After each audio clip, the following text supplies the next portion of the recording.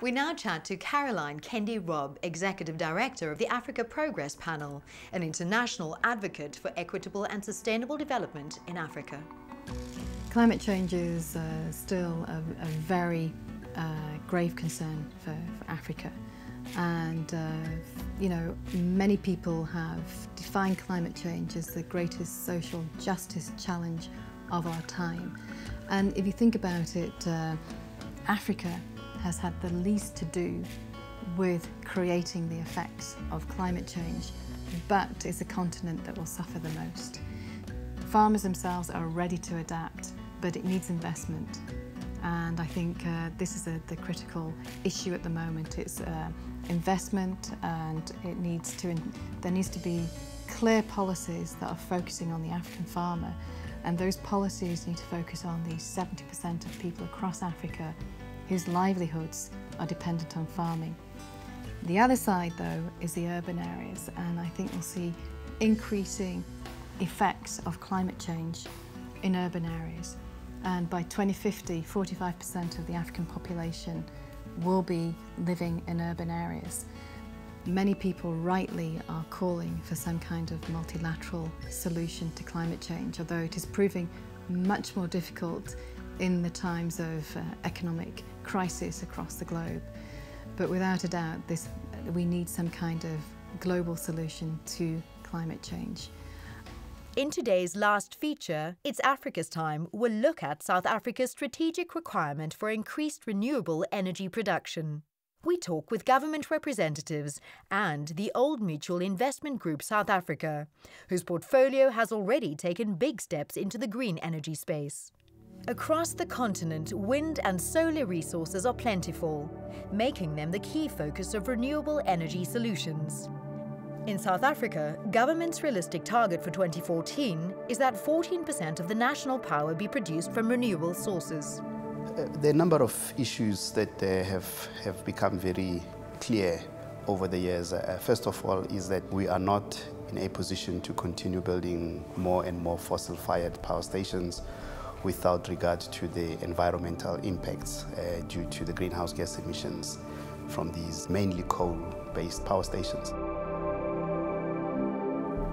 To the community at large, fossil forward it could result into respiratory diseases which cost the country a lot of money uh, from a medical perspective.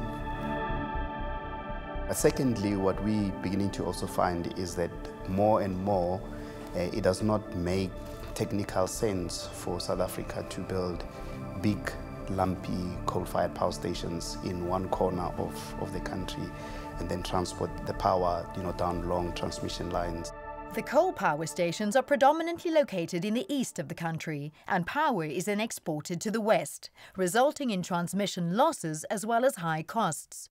Renewable energy installations, however, facilitate small pockets of production between these main transmission lines, supporting the national grid with local, cost-effective power. But if you wanted to invest in renewable energy, it has been quite difficult up until this point. Now suddenly investors have an opportunity to participate either by way of debt or equity in renewable energy, which is arguably a pretty important theme if you look at the government's integrated resource plan in line with sort of international norms and, and standards to try and address this much broader societal issue called climate change. We believe that um, we are one of the first uh, movers in that segment as a country and accordingly we would like to be able to you know take uh, full advantage. There is also an element that relates to you know creating local jobs out of this uh, industrialization.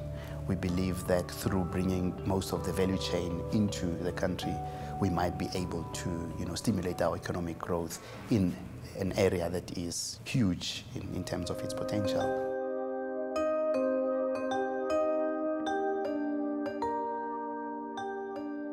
purpose of the Ideas Fund is to invest in infrastructure assets. And, and what we're seeking to do is, is leverage the 2 trillion rand in retirement fund capital in South Africa into investments that are the direct economic drivers of our economy. I mean, if you're a pension fund, you have liabilities uh, that sit well out into the future. uh, somebody with a pension fund should be asking themselves, will the world be a better governed, more environmentally sound, more socially equitable place when it comes time for me to retire as a result of the investments that have been made now on my behalf?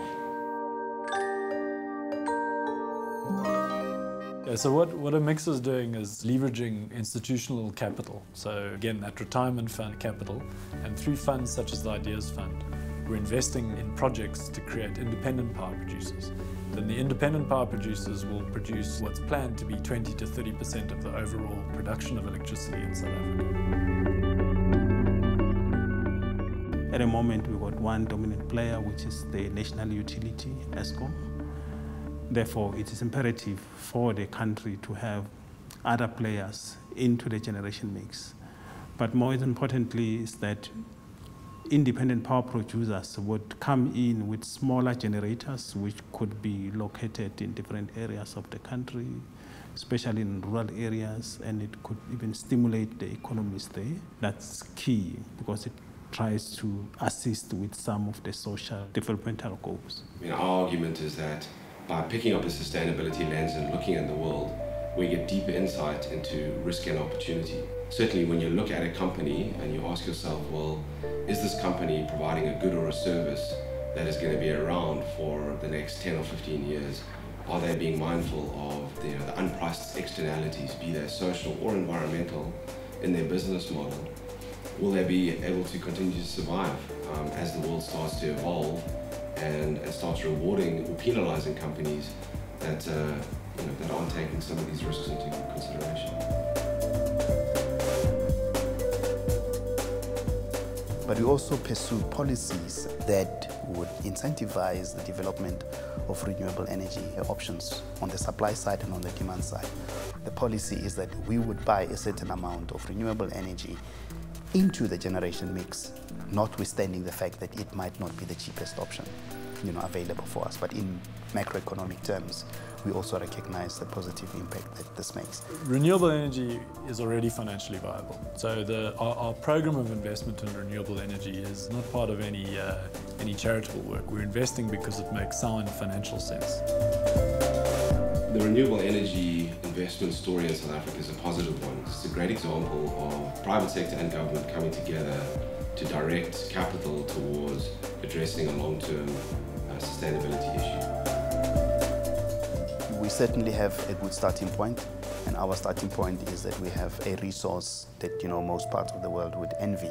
That, coupled with the program that we have designed around renewable energy, you know, puts us in a strategically better position through technology development, through local manufacturing, through creating a market for those products that would hopefully, you know, start permeating not only the South African development community, but also Africa and, hey, ultimately the world.